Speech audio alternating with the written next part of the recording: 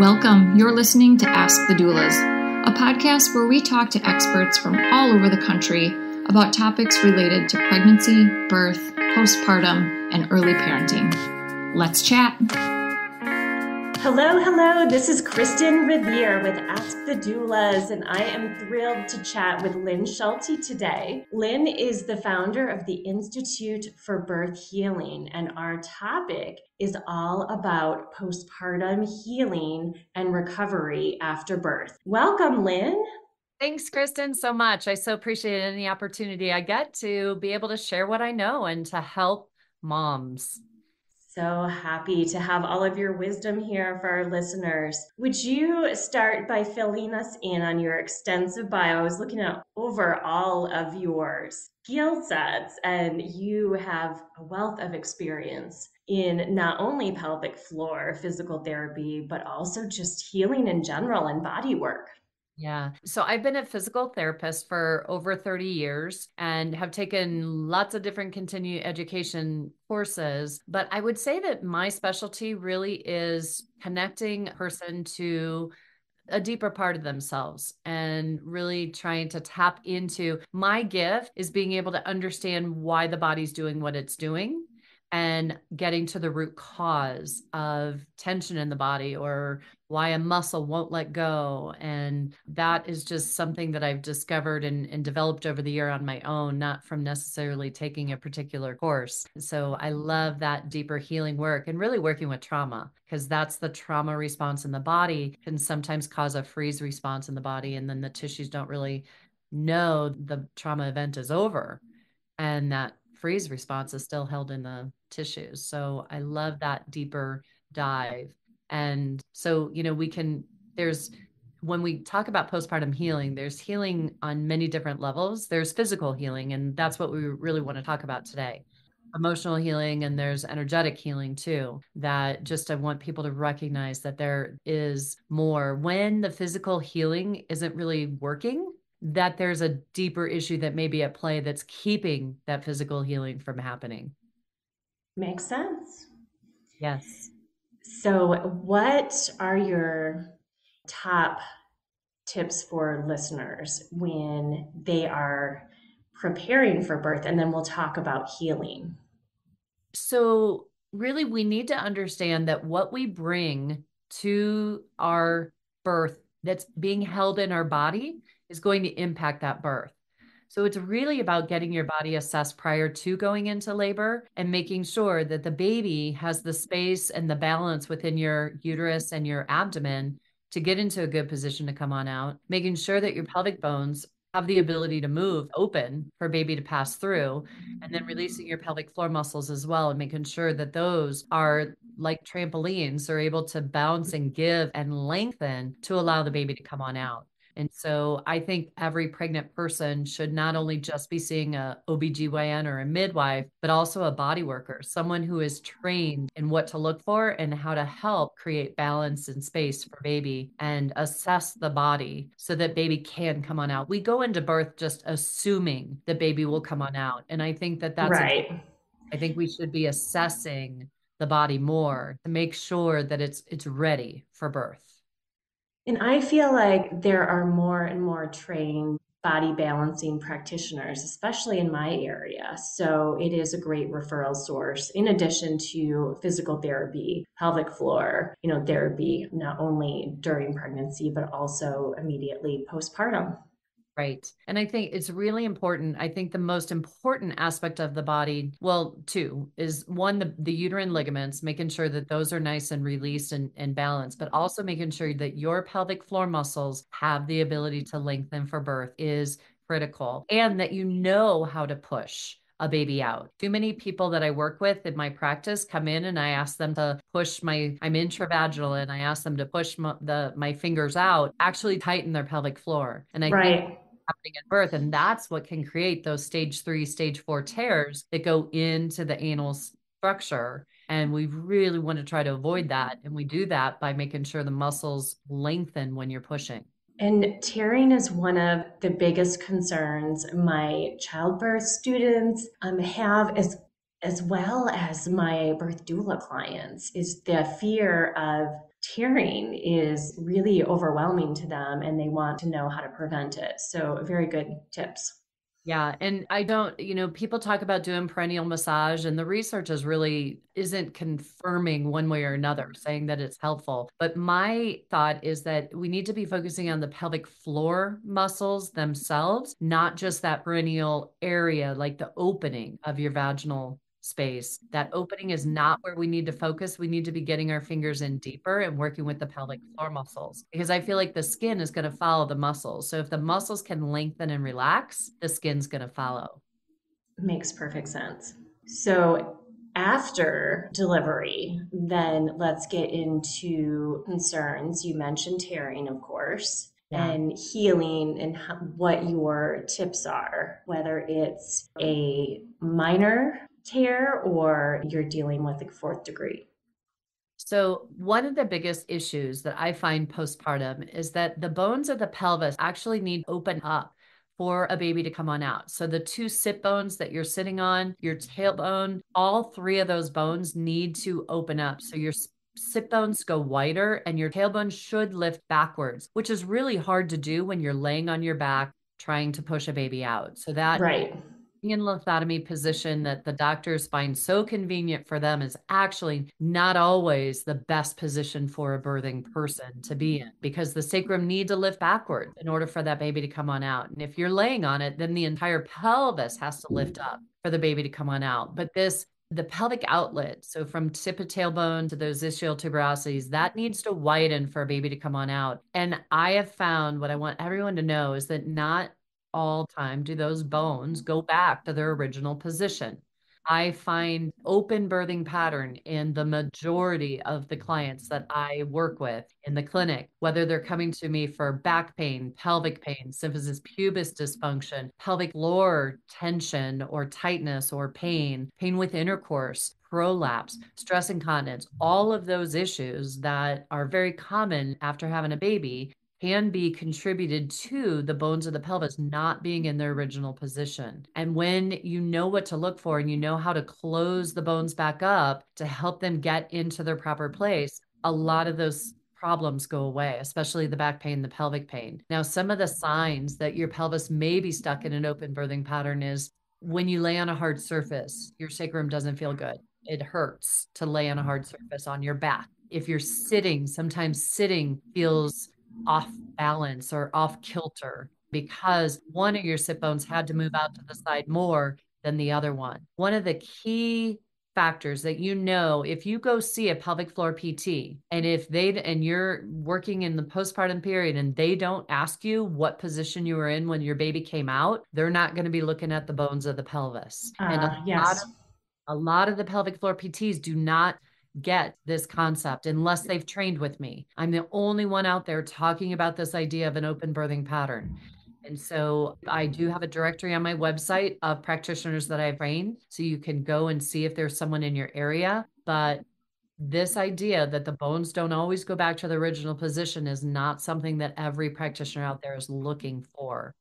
And very interesting. And so I do have clients because we have postpartum doulas at Gold Coast as well as birth doulas. So we're working with our clients up to the first year. And they have that lower back discomfort, especially with breastfeeding in those healing, you know, first six weeks. And so that sounds like obviously an issue that could be prevented and addressed, you know, early on. Absolutely. And and there is an exercise that people can do resisting their knees together and resisting their knees going apart. I have a YouTube video on my YouTube channel which is Institute for Birth Healing is the channel on YouTube. And if you go in there and just search for closing the bones after birth, an exercise to close the bones after birth. I think it's titled that, but it shows you how to do it. And I believe in the video, I show someone doing it to you. But if you just bend your knees up, you can use your own fists and your own hands to resist those movements. So you don't need someone externally to help you. You can do this to yourself. Just bend your knees up towards your chest and do the exercises. But those you're we're using the adductors of your hip muscles and the abductors to help bring the bones of the pelvis back together again. So sometimes that can be really helpful for some people. The sooner we do that, the better. So I really wish every doula knew how to instruct their clients in doing that because that can be done right after birth. We don't need to wait as long as it doesn't create pain. If it creates pain, then try the opposite direction. And then if that's still painful, that person needs help. They need find a practitioner knows how to work with the bones of their pelvis to help bring them back into the place. And if you are a mom and you're working with a pelvic floor PT or a chiropractor, let them know I have online courses. They treating the postpartum pelvis is an online course that I have that a practitioner can take. My courses are only for practitioners because you need to have a license to touch to do these techniques that you'll learn in my courses. Let your practitioner know go take that course and then come help me. That's the yes. best way for you to get help because that the treating the postpartum pelvis course is there's four different patterns I find in the pelvis after birth and it teaches practitioners how to close up the bones, how to get rid of those patterns in the pelvis after birth. And I tell you moms every day in my clinic, mom gets off of the table and they feel so much better, so different in their body after birth because I've adjusted their pelvic bones and got them back into a better position because the pelvic floor muscle is attached to those bones. So if the bones are splayed open from a baby coming out, your pelvic floor muscles are now lengthened. They're on stretch. And sometimes the tension or the heaviness that you're feeling in your pelvic floor or in your perineal area could be because those muscles are trying to keep your bones together. They're ah, trying uh, yes. help you out. And so if you go and you see a pelvic floor therapist and they like try to release the tension without adjusting the bones, then it could make your pain worse. They're taking the the job away from the muscles. The muscles are trying to stabilize you. And if they try to release those muscles and they haven't stabilized your bones, your pain can get worse. So please know that. And if your client, if your physical therapist or your chiropractor, I know chiropractors are adjusting the bones, but they're not looking at the bones of the pelvis in the way that I teach. There's different motions that the pelvis goes through that everybody agrees on, but nobody's really agreeing to this idea that the bones of the pelvis can stay stuck in an open birthing pattern. And it's funny, yes. Chris, because so many lay people and doulas as well they're like oh that makes so much sense. It does absolutely. And i remember in my early years as a doula i attended a zulu workshop and there was a closing of the bones ritual. Now That's that true. was more symbolic and healing yes. after birth and you know it wasn't necessarily dealing with your topic in general but that term was very right. familiar to me. Hey alyssa here. I'm just popping in to tell you about our course called becoming. Becoming a mother is your guide to a confident pregnancy and birth all in a convenient six week online program. From birth plans to sleep training and everything in between You'll gain the confidence and skills you need for a smooth transition to motherhood. You'll get live coaching calls with Kristin and myself, a bunch of expert videos, including chiropractic care, pelvic floor physical therapy, mental health experts, breastfeeding, and much more. You'll also get a private Facebook community with other mothers going through this at the same time as you to offer support and encouragement when you need it most. And then, of course, you'll also have direct email access to me and Kristin, in addition to the live coaching calls. If you'd like to learn more about the course, you can email us at info at goldcoastdoulas.com or check it out at thebecomingcourse.com. We'd love to see you there. Right. And that's a beautiful ceremony. It's a beautiful idea. I love it, but it may not address everything.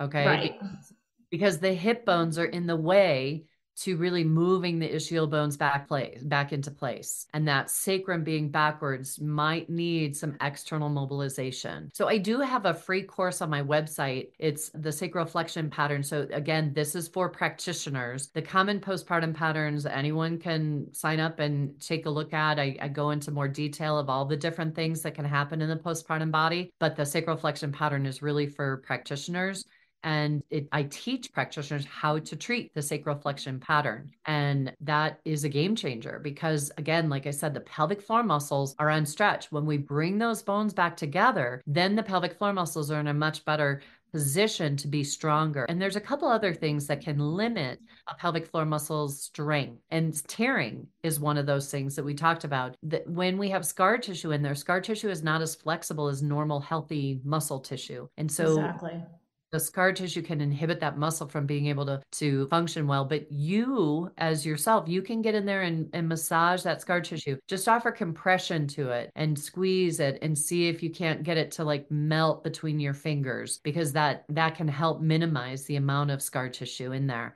the other thing I want to make people aware of is when we're stuck in this open birthing pattern and these pelvic floor muscles are on stretch, trying to have intercourse can be really, really painful because the muscles, the vaginal opening is is on stretch. It can't open up more to allow the penis to come in. And so that insertional pain is the pelvic floor muscles are not happy. They need help relaxing so that the penis can insert without pain. We need to release that scar tissue. We need to relax the pelvic floor muscles to help with insertional pain with intercourse. There's also deep thrusting pain with intercourse, which can be from the cervix not being able to move out of the way, and scar tissue from C section scars can cause that. And so, back to another issue for why the pelvic floor muscles can't be strong after birth is that as that baby comes on out, it smushes the bladder out of the way. And it can smush it off to a side and then the bladder gets stuck over there. And I can find the cervix in any position intravaginally after birth. It can be stuck to your right wall, your left side vaginal wall. It can be pulled back. It can be poking into your bladder. If it's poking into your bladder, you have you feel like you have to pee all the time. And so getting that cervix back into its midline position by balancing the uterine ligaments and getting the bladder back into place instantaneously changes the strength of the pelvic floor muscles. And that's amazing because that is a common concern is that yeah frequent urge to urinate after yeah. you know in that postpartum healing phase and that stress incontinence when the bladder is off of the side the pressure from your abdomen can't reach the urethra and so that's why the pressure only hits the bladder and so that's why we leak and if we can get the bladder back into place, then some of that abdominal pressure can hit the re- urethra and the bladder and keep the differentiation of pressure inside so that you don't leak. So that's a, a, bigger concept than most people might understand there. And I've really simplified it. But there is a reason with the bladder being off that can cause stress incontinence. Another thing that can cause stress incontinence is that your lower belly is jutting out when you go to laugh, cough, sneeze, which increases pressure on your bladder. So your upper abdominal muscles are pushing down, causing your belly to jut outward and that can increase pressure and every time you do that you can be leaking urine. So you need to learn how to get your lower belly muscles activating stronger than your upper ones to keep the pressure away from the bladder when you laugh cough sneeze. So if people just put their hands on their lower belly and they cough the belly should draw up and in. If it's pushing out that's something that you need to work with for your belly. Excellent tip and so another common postpartum concern is hemorrhoids. How would some of your tips factor in there? Yeah, so the hemorrhoids are around the anal sphincter muscle. And the anal sphincter muscle, I find knots in most every single postpartum person that I work with. And the anal sphincter muscle gets so stretched out from the way the babies come on out vaginally. And those knots can create problems with hemorrhoids and also fissures. So, a fissure is a tear inside the rectal anal canal that every time you have a bowel movement, you're opening up that wound and it really feels like you're pooping glass and it's so painful.